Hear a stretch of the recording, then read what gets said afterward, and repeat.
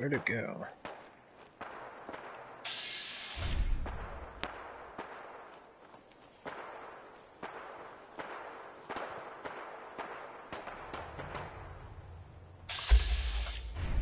Preacher? What the? Who the heck is this? We commit our friend, Blake, to the earth.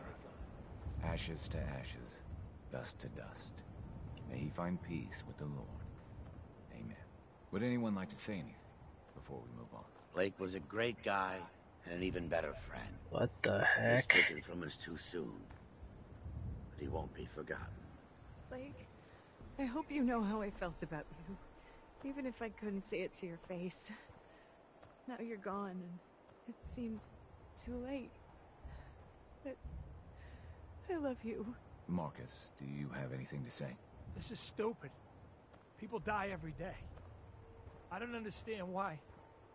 Understand? God, why did it have to be him, huh? Why wasn't it me? I'm the asshole of the group. I'm the one had it coming, not him. Not Blake. I'm sorry, guys. I just...